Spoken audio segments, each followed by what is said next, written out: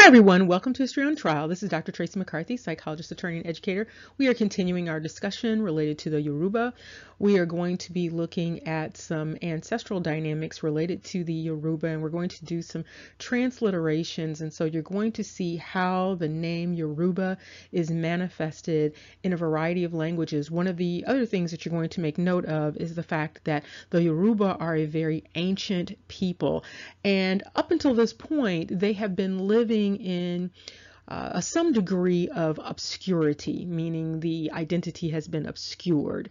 And so we're going to be looking at some of these transliterations in a very ancient transliteration of this name that is going to then give us a better idea of where the people came from and where this name came from.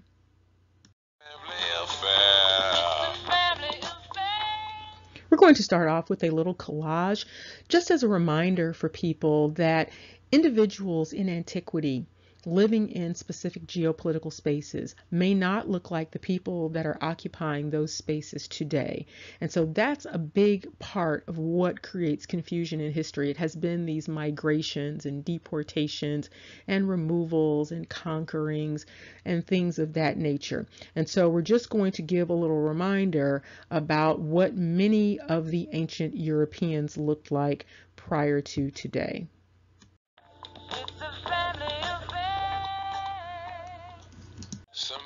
Just loves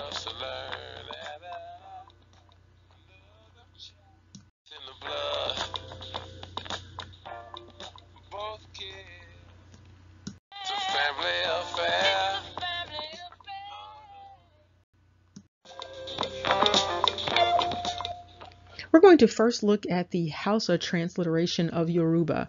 And as you can see off to the right hand side, there is a difference in spelling with the Hausa spelling it Y-A-R-B-A-W-A.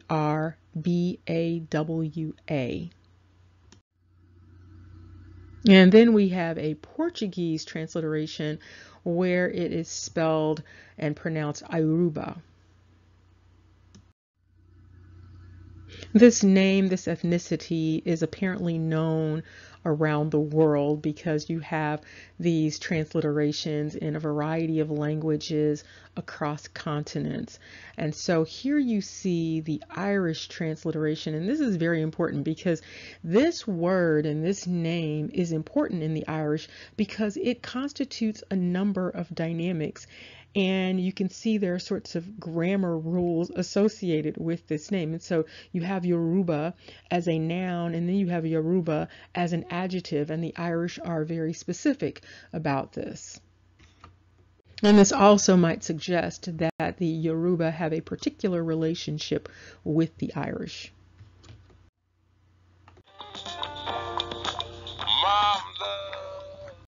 We're going to be looking at a very interesting transliteration coming out of the Tamil language.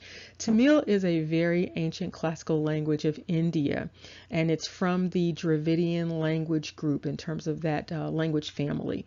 And so we're going to be looking at that. What's really interesting about this is that this is a very ancient language, and they have their own understanding of the name Yoruba and you're going to see the difference in terms of spelling and you're going to see the difference in terms of the way Yoruba is pronounced. You're also going to see a dynamic that's related to that betacism dynamic that we talked about where letters are interchangeable like the B and the V and the B and the P and that is a dynamic that goes on with the Tamil language with respect to the Yoruba.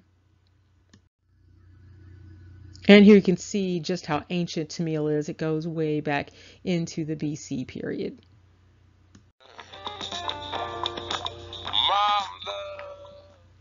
And here we have this interesting transliteration coming out of the Tamil. And with the Tamil way of pronouncing Yoruba, you have Yorupa. And this, of course, is interesting for the obvious reason Yoruba or Europa is the name that serves as the foundation of the continent known as Europe. And here you have some other transliterations, and you can see in the Pashto that there's also that Yoroi sound when transliterating Yoruba.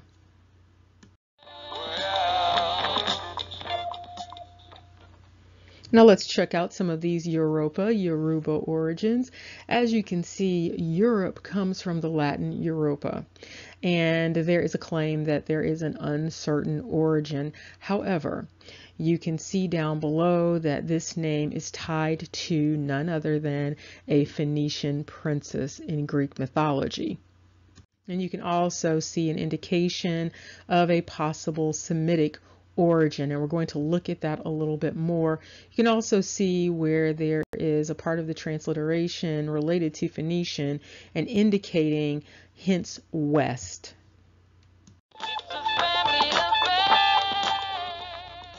Not only is Yoruba associated with Europa, you also have Yoruba being associated with the name of two Israelite kings, and you have Jeroboam or Yeroboam. And you can see with the Jeroboam, when you see the Y in place of the J, you can more readily see the Yoruba. And this name comes again from a Semitic origin, and the name means the people increase. And according to a number of narratives, there is an association between Jeroboam and Europa also. And so all of these names are intertwined, sort of meeting together, ending up with this name Europe.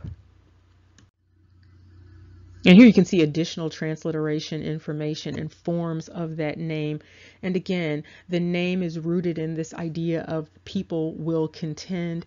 You can look down at the bottom and you can see Yoruba or Yoruba inside of these forms and transliterations. And part of the difficulty with understanding the origins of Yoruba, those roots, the difficulty comes from often attributing some of these names and these cultural dynamics and these ancestral lines to Canaanite heritage. And again, this may be related to attributions related to the mother in place of the father. And so there may be a matrilineal focus when discussing these things. However, when you look at this name, this is definitely not a quote unquote Canaanite name, and this is definitely a Semitic name, and not only a Semitic name, but a uh, we could call it a Jacobite name, or we could call it a, an Israelite name. And here you see additional components of that name, also meaning to strive or to contend, uh, related to quarreling. And here are some additional transliterations, and you can see down below with the Mongolian, you see the E inserted there, and you also see that P in place of the B. Now these are some interesting draft registration cards and you can see here the name Europa uh, being carried by a number of people. What's interesting about this is that the individuals tend to come from the Philippines. And here you see another individual with the name Europa, again from the Philippines. And here you see an additional Europa, again, coming from the Philippine Islands. These are very old records, so this is from 1906. And another record, this one's coming from 1910, and this is again another Europa, and again from the Philippines.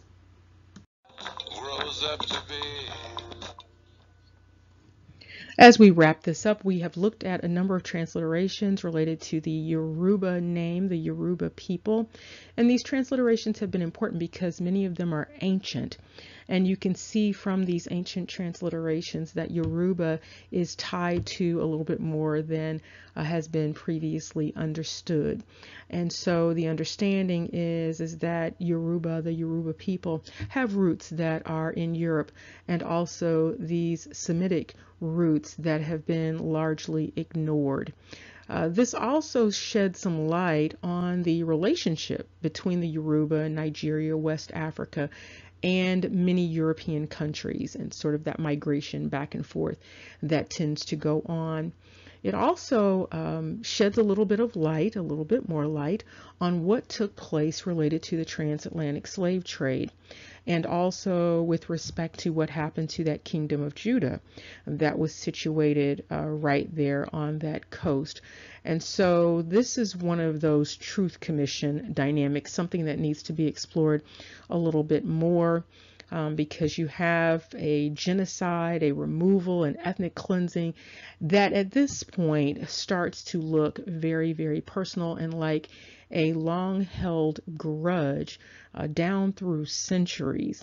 And this seems to trace back to uh, relationships, father son relationships, going back even to Abraham. And unfortunately, many historical narratives have been rooted in dynamics related to phenotype. And so it has created a process wherein individuals have made connections or they think they see and have connections with individuals based upon skin color and those connections may not be in actuality what many people think they are. And what you see here is a dynamic wherein you have individuals with one phenotype perhaps being more closely aligned and connected in terms of ancestry with individuals who may uh, have another phenotype. So we're talking about the Yoruba in Africa and many of the people who are in Europe today.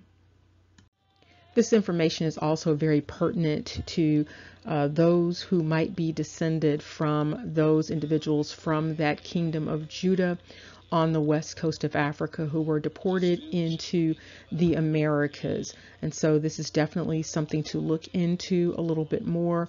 And also for those individuals who were deported out of Europe into the Americas based upon the Jacobite fights. Remember, knowledge is power. Take care. See you soon.